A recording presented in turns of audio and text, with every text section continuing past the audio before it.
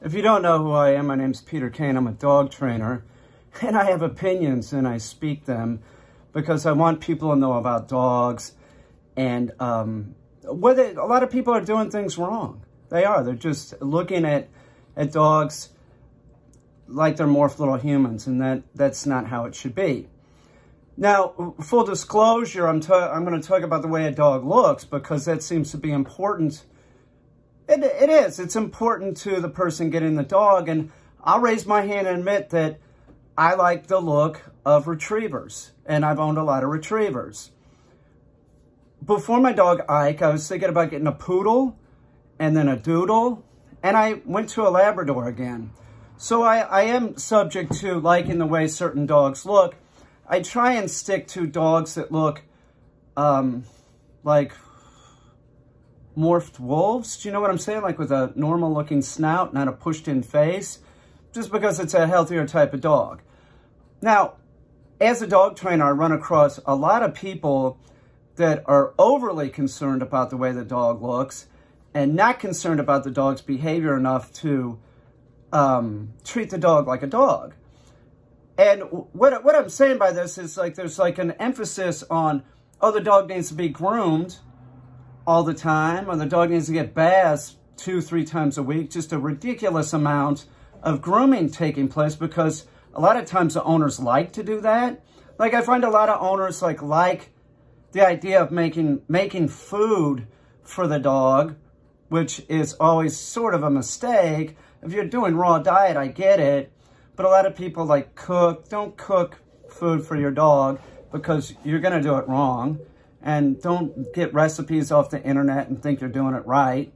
And one thing that's important is um, we're the only animal that eats cooked food, okay? So why are you doing that to your dog? And if you're giving raw diet, that doesn't mean raw vegetables, okay? So you give canned spinach. I digress. I'm, I'm getting off track here. The thing um, that I've noticed is a lot of people, they really are, they're, they're really concerned about bathing the dog. It's like a nurturing thing with the dog. And, you know, they're worried about the way the dog looks, but the dog is a dick around people. So how's the dog really look? Do you know what I'm saying? Like people are going, ooh, what a good looking dog. And then the dog's barking and lunging at whoever. Why is that? Why is that? Like you, you get a dog, you know, it's a subspecies of the wolf. And it's really about like, how clean is the dog? Does the dog have the proper haircut? To me, it's not, if you, I'm just telling you, if you send your dog here, there is not an emphasis on grooming. Okay? It's about behavior. And I admit to it, I don't like doing that. I don't like giving baths, and that's why I've always owned these hunting dogs that are low maintenance. Now, I just threw a, a dog, a poodle, in the tub, and it went pretty good. But, it, you know, the poodle, it's like a sponge, and then they shake. It went pretty good, though. He got in the bath you know, he's been in the bath clearly a lot.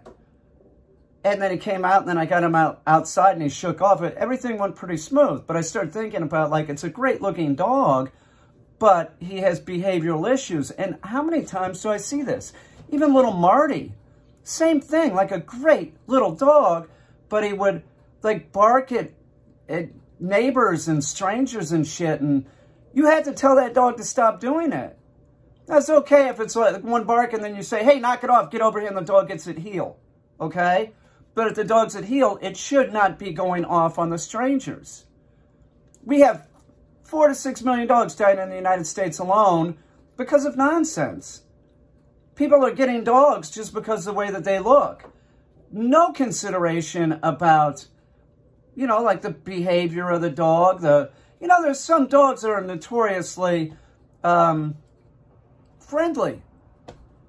That's not necessarily a good thing for a lot of owners. You get a gregarious Labrador and it's jumping on people. It starts jumping on people. And then you got a problem. And Labradors have killed people. So don't think that like a, a Labrador or a Golden, you're not going to have, they all have bite histories pretty much. Um, you know, don't think I'm going to get a Golden and not train it and have it around my kids. That's not a good idea. And by training, I mean serious training. You have to like really put some work into it. You can't be like, oh, look, I taught the dog to sit and think everything's going to go okay. And then somebody comes to the door, you open the door, and then you're Golden's jumping on the people. People, oh, don't worry about it. I love dogs. You, you should be concentrating on the dog's behavior, not the way the dog looks. There was a dog here that it was a small white dog, and uh, I won't use the name, but um, one of the one of the owners, there, there were two owners with this dog, and one of the owners said to me, said to the, me, after the dog got groomed, now the dog looks loved. And I was like, what? What the fuck are you talking about? That's what you're worried about is what people think your dog looks like. I, I went off on him. I'm like, are you fucking kidding me? Your dog is horrible at times around people and you're worried about like, the, now the dog looks loved? I love that dog that I'm talking about, by the way. I loved him. It was great dog. Great dog. The one owner was sort of like, but then the other owner was so everything worked out in the end. But the one owner that I'm talking about, the positive owner, is really about keeping the dog looking a certain way. Wants to show dogs and stuff like that, but a concentration on the dog's behavior. If the dog is being a dick, she says, no, knock it fucking off. Get over here at heel. Which is fine. So if you want to do that nurturing stuff, like you want to bathe the dog all the time, don't do it more than a couple times a week. Um, really, they don't, they don't need to be bathed, you know, four times a week.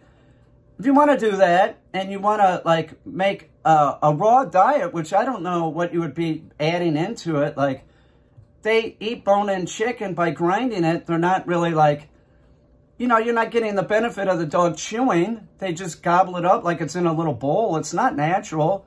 What would you be adding? Like a little bit of spinach? They don't eat fruit, okay? They're not supposed to be eating fruit, and they make their own vitamin C. So it's, sort of nonsense, like the person that wants to, like, take the time and grind it up and, you know, make little patties and freeze them. Okay, if you want to do that, but that's a lot of time that you could be spending training your dog, spending time with your dog. Instead of spending proper time with your dog, you're in the kitchen making dog food. Does that make sense? No, it doesn't. It doesn't make sense. And that's what I'm saying. Four to six million dogs dying every year. People are worried about how their dog looks. Well, it looks like a jerk off when it's lunging and barking at people. Okay? It looks like a jerk. So stop worrying about is the dog clean. And trust me, there's very few people that send the dog to me because they think that I'm going to concentrate on grooming. With that said, the poodle that I just cleaned, you had to shave around the face and they were having trouble with that. So I was like, yeah, I get them better at that. I did that real quick. The first time I worked with him, I put him in a high collar and started shaving his face.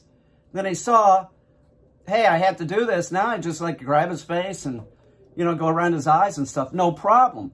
So there is an element of grooming with me, but that is not what people send their dog here for. They, they send their dog here for behavioral issues and to learn skills so that the owner can work with the dog the rest of the dog's life because training is the lifetime of your dog. As the dog gets older, you might do maintenance training with the dog, but they like to do it. They like to drill and do retrieves and everything.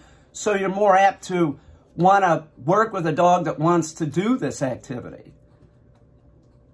So stop worrying about does little Fluffy have a ribbon in her hair? Is little Fluffy a jerk?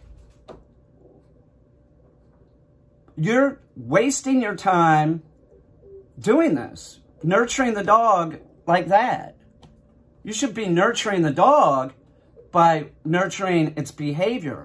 And you do that through training, and training is repetitious. Remember, your dog functions two different ways. Instinctually, that's the shit, and with trained commands, that's the good stuff. So spend time with your dog, not grooming it and bathing it. I'm not saying don't give it a bath every now and then. Some of these dogs you had to bathe, like the poodle, Man, for weeks I've been like, I got to give that poodle a bath. It's filthy. It's like a dust, you know, it's like a dust mop. I'm not saying don't do that. I'm just saying You shouldn't be doing that a bunch of times a week. Maybe once a month with a poodle? Once a month, maybe? Stop wasting your time. Spend time with your dog in an appropriate manner. An appropriate manner is training your dog.